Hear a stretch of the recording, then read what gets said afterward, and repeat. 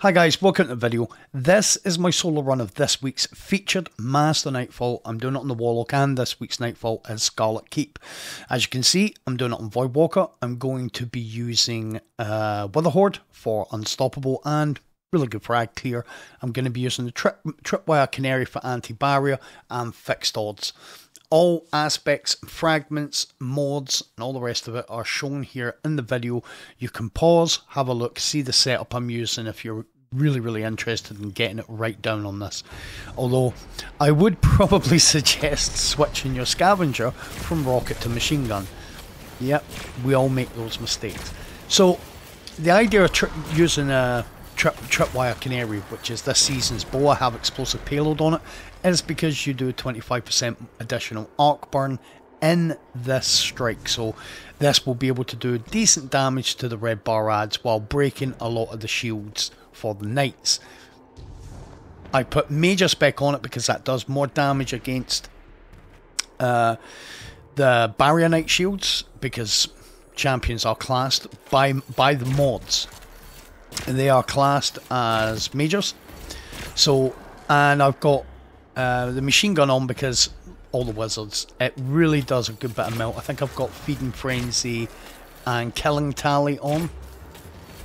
And I think that's what I've got on. But again, it's not a big deal. The mods, the perks you've got on your machine gun, any any of any of the fixed odds would, would be good for this. So, the reason it it kind of took me a little bit lot longer to put this video out than I actually wanted to is because a lot of you might know been, i was pretty ill at the start of the season uh, more than pretty ill. Uh, it's probably the worst I've been and it lasted about seven weeks. Had about four three or four weeks where I felt fine and now I'm starting to get ill again. And I think it's because one of my kids have got something at school and anybody that's got kids will know if your kids catch it at school you catch it. So I wanted to give my voice a chance to kind of come back. It's still a little bit raspy. I apologise if it comes across in the video. I just wanted to get this out because I've been sitting on it for a couple of days now. Uh, so, anyway, the, the run is roughly the same as the GM run. Maybe a, it's, it's faster, obviously, by about 15 minutes, which you would expect. I always go for this barrier. So what I'm going to do here, and you'll see a, a kind of a good thing about being able to use a machine gun you'll see here is range. So a, the the fixed odds is a slower firing and it's rule of thumb slower firing higher impact per round. So sometimes it's better to have the higher impact, you know, uh, to get the range than it is to have uh, a faster firer and vice versa. Sometimes it's better to have faster firing I can't remember what the fixed odds is RPM. You've got obviously your retrofit as a 900, so very fast rate of fire, but it doesn't hit as hard per round as as the fixed odds. Fixed odds is I'm just trying to find it. Uh, the fixed odds is a 360, so quite considerably slower firing than the retrofit. Uh, it's in the same kind of place as the Swarm, which, just as a side thing, we found out is coming back as a Nightfall weapon next season. Goody. Man, they, re they really dropped the ball, I think, on the weapons they're bringing in with next season's GMs. But we'll talk more about that. So, again, it's, it's you know, roughly the same. Uh, except you see, if you put if you put Witherhoard on why I, it's something I was used to saying D1, uh, D2 at the start when I used to do my, my nightfalls. It's about ammo consumption, making sure you take care of your heavy ammo. Witherhoard allows you to do that because upon breaking the shield, after that, really all you have to do is get a Witherhoard on and maybe put a couple of more shots on, and you know you'll be good. Now, one thing I want to address right at the start of this is uh, because some people might be thinking it, why am I still doing it the same way I do the GM? Because the aim of this channel, and always has been, is repeatability. I want to show you guys, if you guys get good practices in your head and you continue to do them, it doesn't matter if it's a master, if it's a grandmaster, if you guys get really good practices in your head and you just do them muscle memory, then You know, after you do that, that's when you start. You know, you, if you're going to learn the stuff like this, you need to learn good practices to start with. People that you see speed running and doing that type of thing, highly entertaining, but they've already done this part of it. They've already worked out how to repeatedly do it, and then they can mess with the strategy because they know exactly how it works. And that is why I'm doing it exactly the same, just about, so you guys can see good practices lead to easy runs. So this is the second wizard. We'll just make sure we're taking out all of these guys. Now, the weekly modifier for this Nightfall is Togetherness. Uh, that's part of the reason why I'm using Voidwalker because Devour gives me my health back.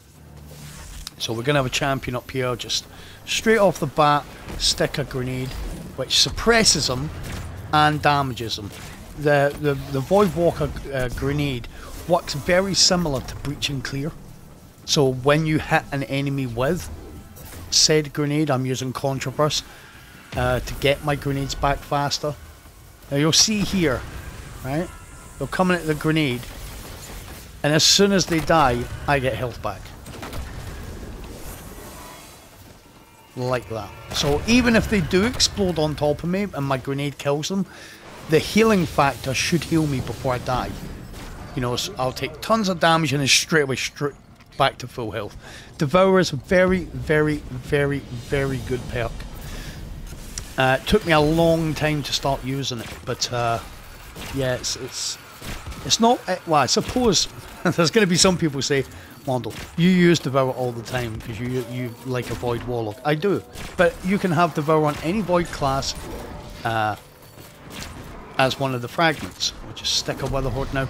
You don't really, at this part, you don't really want to push up that bridge too far because you've got an overload up there. So what we're going to, uh, unstoppable, so what we're going to try and do is just put a grenade. Now I think I missed so many of these shots here. I don't know how I missed that. Managed to get get one on him to stop him. You can put them on the ground. You do not need to hit the unstoppable with a Witherhoard. Don't have to hit him. If you put it on the ground and he goes through it, it'll stop him. But the reason I like to hit them uh, is because if you hit an unstoppable with with a Witherhoard shot, it will stop them twice. It'll, it'll stop them, damage them, stop them again. So it's it kind of makes sense to uh, it kind of makes sense to to stick it on them. I kind of have noticed, and you guys probably have noticed this as well. The ads really are like they they hide a lot now. It's like it's like the AI has has ramped up. So if you break a shield or you do a good bit of damage to an ad, be prepared for that ad to run away and like make a you know post on Instagram, put Twitter Twitter post up about how how bad Guardians are. I've now got up my head of a Dreg running behind something, and grabbing its Samsung, its iPhone out. Ha hashtag oppressed. I'm just minding my own business, with my friends, and this Guardian came up with this big void grenade. Sorry. Anyway, they will run and hide. Uh, if you if you're dealing with a shielded enemy, you don't even have to do that much damage. Uh, you just have to break the shield, and the ag's like, "Oh, hightail it out here. Not having this. This is not fair." Right, so you can see there, I hit hit that barrier champion with my grenade, and then straight away, he was suppressed. He kind of walks slowly. He's he's very Another kind of cool thing. I'm going to try and hit this Shrieker with this Witherhoard now. Give me a couple of shots. It's, it, you know, I used to be really bad with the trajectory of the Witherhoard shots, but as you can see, there are two shots. Oh, the reason I do that is one, it's a bit of fun, but two, it means then I can put some heavy on the Shrieker, but I can then dip out a couple when, when the Shrieker then gets a bead on me, and the Witherhoard will finish the job. So, again, clear up the rest of the ads and then move up. Be careful when you get up here, these two Void Acolyte Snipers. Well, there's actually four here and a Wizard, but these first two, you'll take one and then the other one will probably teleport further up. Wizard was really nice. Normally you break a Wizard shield, like I, like I said, and the minute you break their shield, they will dip out of cover till they get their shield back. But uh, in that instance, the wizard felt a bit brave and came back. So, when you get to this area, I always try and take the ads on the bridge first because they're closest. Take these two guys first. If you get a bead on any of the others, so be it. But as you can see, there is a champion and a bunch of ads there. If we can hit the champion, break his shield, you know, more, more, you know, that's all good. I'll try and hit him with a grenade. That will suppress him, kind of stop his movement a little bit. As you can see, he's going to, put his shield back up. Last ditch attempt to stay alive. Kill him, clear the ads, move on to the next section.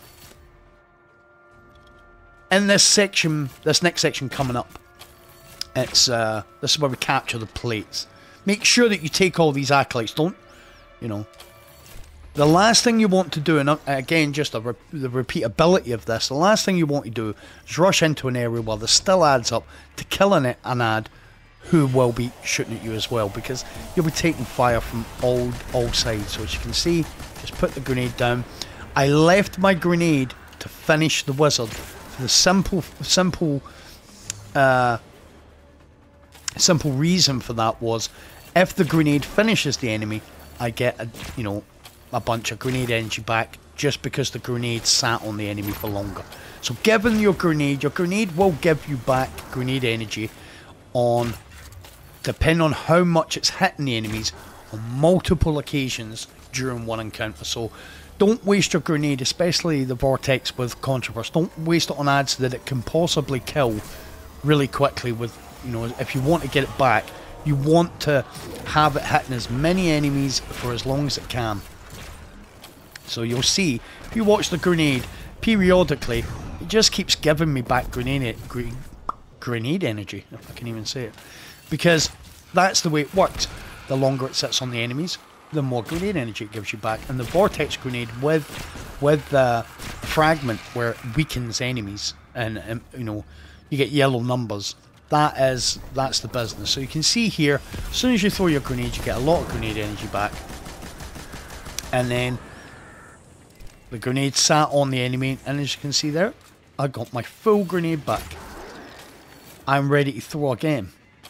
It's just a very, for me, it's the best Warlock grenade. Even with Arc 3.0, I mean, the Arc grenade with fragments and the, the ability to jolt and stuff, can't argue with it. It is really good. I just prefer the Vortex because it does more damage, but it's more of a, a focus grenade, I would say. But it has multi, you know, it's, it's multifunctional. And there we go. That's that is that uh, that is that champion taken. Make sure you capture the plate. On the left hand side, it will tell you. It says uh, pursue Hashladun, daughter Crota. Altars captured. Now it will say two of three. Make sure that we've already captured the first plate. Just make sure you've captured the next plate because the champion will come out at the start, as you guys might know. Champion comes out at the start, so you'll probably get off the plate. That that guy going in there probably gives us our grenade back, which is cool. Uh, so after you kill the champion and the four acolytes, which you get at each plate from the same sort of loca location, left and right's the same location, should I say? The middle plate's slightly different. There we go. Now he, I thought he was going to go behind that pillar. Sometimes he does go behind the pillar. We've got a good bit of grenade energy back anyway. And there we go. Now we still got some ads because it seems like sometimes when you put the weather, you've got to make sure you get the Witherhoard right in front of the door. And although they nerfed the amount of time it lasts, it's just how much it seems to me if you put if you put it on the if you hit someone with the Witherhoard, it seems to last longer. I don't know if that's the case or whether it's just my perception of it seems to last longer if the Witherhoard has landed on the ad and is doing damage to the ad as opposed to the Witherhoard just sitting on the floor. It doesn't last as long uh, on the floor. So make sure that you're, you know, give it a couple of left and right plates. Give it, give it a second or two before you start firing your Witherhoard at the doors, just to make sure they affect the enemies. So we're going to move up here. Uh, this is the section that leads us up to up to the left. Uh, you'll have a bunch of acolytes. I feel like I say that in this in this strike a lot. There's a bunch of acolytes. Once you clear, you see I've cleared that that acolyte at the back. Once I do that, uh, you'll get the sniper at the top. And then normally, as you can see here, barrier will run away. And we'll just break his shield here and then stick a Witherhoard and then just get a nice little melt on him there. Easy, easy work. You so what you're doing is you're using your Witherhoard here to obviously put breach and clear on, but it helps you do damage with other things. So here we go. And what I'm going to do is I'm just going to throw my grenade down here, and I'm going to try and take the snipers at the back. Take the stragglers that the grenade won't kill, and there we go. So you put your grenade down bottom of the stairs and let the first set of acolytes run into it. And then and then you take the snipers that are at the back. That your you know, your grenade won't touch them. Anytime you see, because because of your, the weapons you're using, anytime you see any of those solar bombs coming in, just make sure you move out of their out of the way, so so that you're not trying to take down a champion uh, while burning. You, that that is not a good time. So, I'm to put our rift down. And then what I'm going to do, that is what I call a speculative grenade. We want to catch something, but if we don't, we don't. It's more of an area of control. Hashladun has now moved on, but there's still a barrier somewhere over there. So what I'm going to do, same as I done in the last room with the with the the, the Shrieker. Oh, Third time lucky. That looks good. There we go. Same thing again. We'll just come down here. We'll see what, what our uh, Witherhoard manages to do. Nearly killed it on its own. But we've still got a barrier, we've still got a bunch of ads around here. They, they, just hid really well. If I needed to, I could throw my Nova just to get health back. So we'll just put a Witherhoard over there and hopefully... Now you see, I stuck the Witherhoard, he was running away, but it is a knight's uh, prerogative, or it's just the way that they work, prerogative's the wrong word, but it's a, a knight's mechanic, that when he gets hit with anything kind of like that, area of effect, whether it be a grenade, Witherhoard, whatever, he, uh, he will dodge. And it was just luck for us. He dodged backwards into the Witherhoard, which then stopped him because he put breach and clear on him uh, weakened clear. So we're going to have another barrier up here. Again, speculative grenade. We want it to start hitting doing something because then we just gives us grenade energy back. And as we can see, it, it did. It hit, the, it hit the champion. So again, I'll try and land a Witherhoard shot on him. I'm trying to save heavy because I kind of got a rule of thumb. Once I get to 50% here, uh, you see there, I, I, was going, I was going for the finish. I don't even know if I've got Lucent finisher on, but I was going for the finish to try and get some heavy. Yeah, once I get to about fifty percent, I stop. Uh, I stop using heavy as much. Now, I spoke about this in my GM video, and I found it really funny. I spoke about it in my GM video, and then somebody, mentioning no names, made a whole video about this. No need to cheese this if you get if you get your position on the left right which is to look up the left see me doing to start with and find all the closed sections. If you find all the closed sections of these and make sure you're in a position behind them.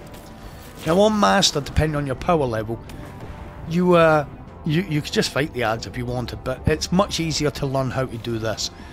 Look up find all the section where they're all closed for two or three sections and that is that is where you uh, that will be the side that you you hide behind so there's our champion. Just get a Witherhoard on him nicely. Broke his shield. I will put a little bit of heavy on him let the Witherhoard finish him. Now let's have a look in here because we never took any of the ads this side. So make sure you're uh, be, still being safe. Again, if, if they throw something at you, make sure uh, make sure if they throw something at you, you're not staying there and just take you know tanking the shots. Now, at the start of that encounter with that champion, you might have noticed I didn't throw my grenade at him. Right? I threw my grenade at the side of him. I didn't want him to go. Now, it works that way. Remember I said the mechanic of a champion is, or a knight, is when you throw your Witherhoard or whatever, they will dodge immediately.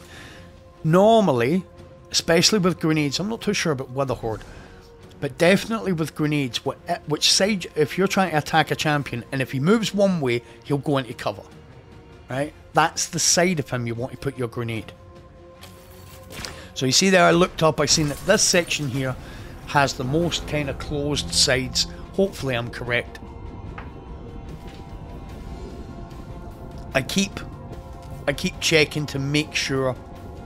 So what will happen is behind you, so directly behind us, two of the sections will be closed. Next to both of those sections there will be one section that's open. So you see that that section's open so I stayed to the left hand side of this pillar and normally what it means is if the bottom section of the open section, the, the section that's going to be open, if it's the bottom section on one side, it will be the top section on another.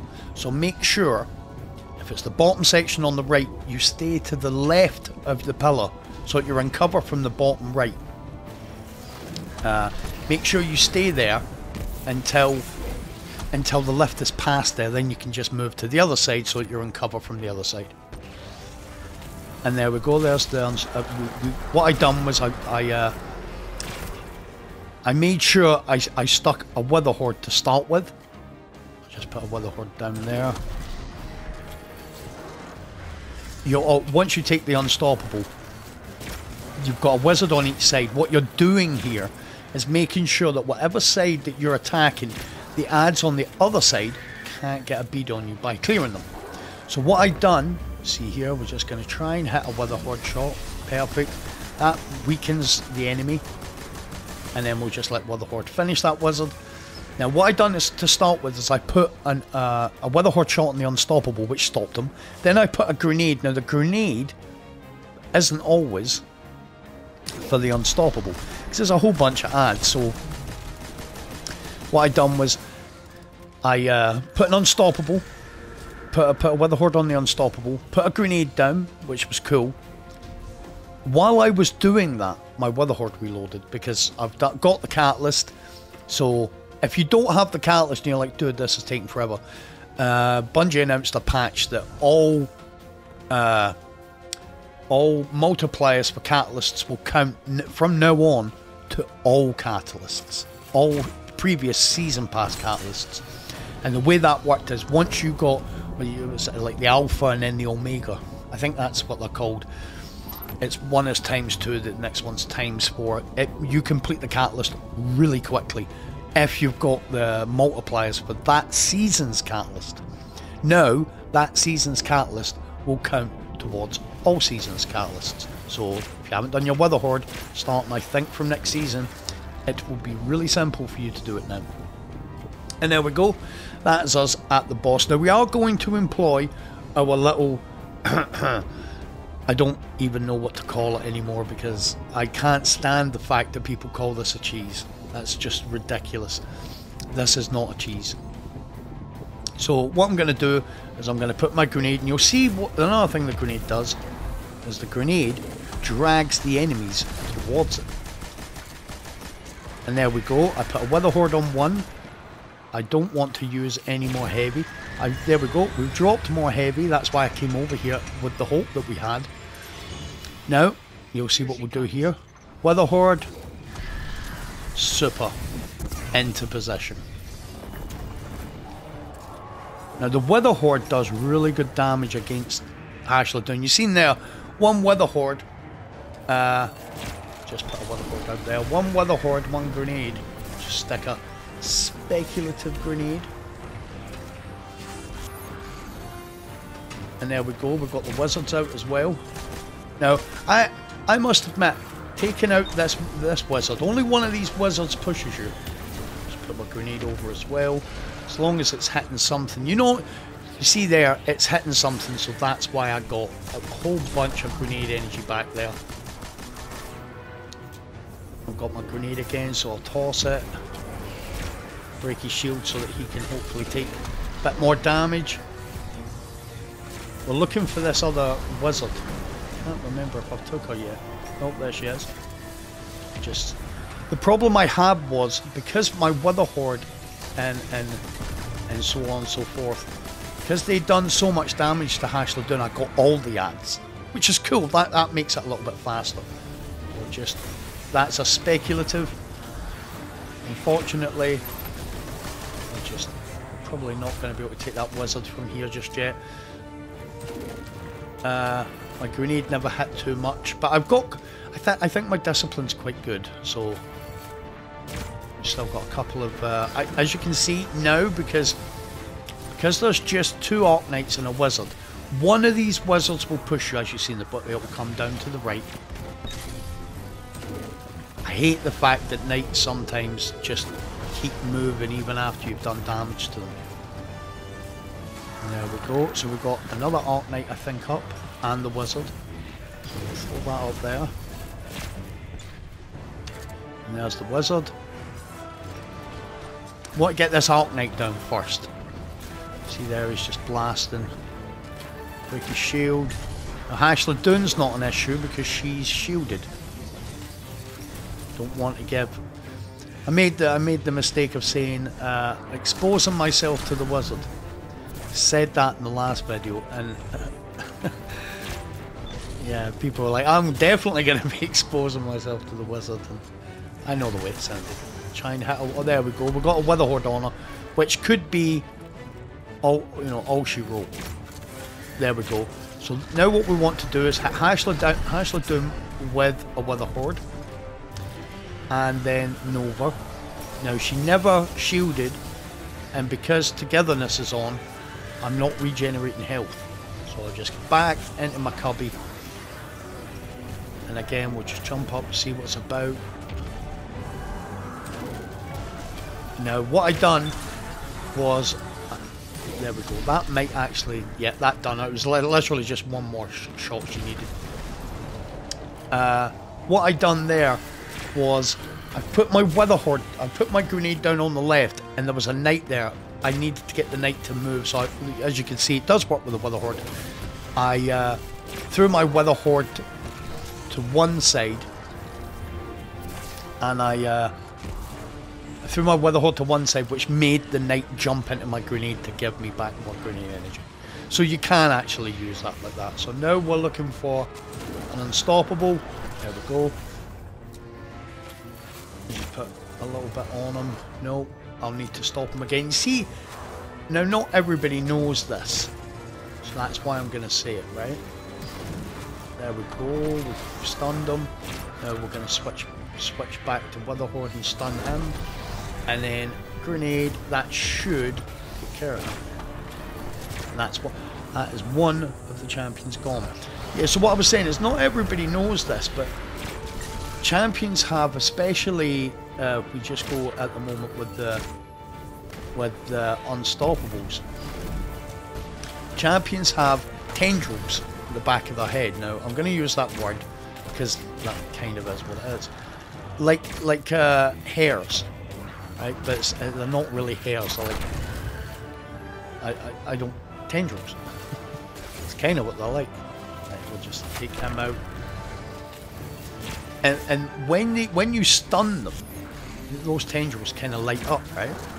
While those things are lit up, you can't stun them. So you can tell when you need to restun a, a, a, an unstoppable, because those uh, there we go. Those tendrils, they uh, just trying to finish this uh, thing off now. Those tendrils will stop lighting up. So now what we want to do is speculative. That should be that should be it. So that's how you can tell when you need to unstun stun a champion again. And there we go guys, that is a solo master of Scarlet Keep uh, on the Warlock. Thanks a lot for watching, I hope you enjoyed it. I'm sorry it took so long to get it out, but this goddamn voice, throat and cough. Uh, hopefully I'm it's going away now because I've had it for a few days, but I don't think. I think I'm going to have it for a few more. Uh, thanks a lot for watching. I hope this helps you guys. I hope you enjoyed the run. Take it easy, and I'll see you guys in the next video.